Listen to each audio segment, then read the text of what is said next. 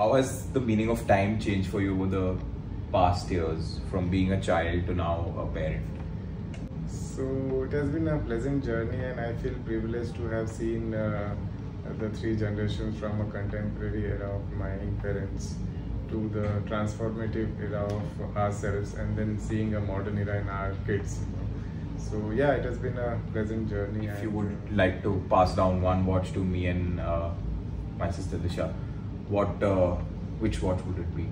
Well, I'm not uh, sure uh, uh, you would like my choice, but I have used many brands, and the one which I like the most and I'm quite comfortable with that is Swiss Eagle, you know. And, uh, and I think even they have uh, seen uh, further transformation over the years and uh, generations. So I think yeah, that's what I would like you to use. But then, I mean, obviously it's your choice. Being a doctor, how important is time?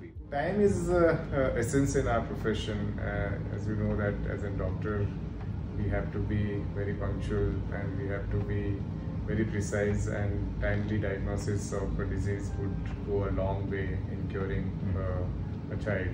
So yeah, and that's what I've learned from my parents that uh, we have to be very precise, meticulous, and punctual in our uh, profession. And the same advice I would like uh, you all to follow.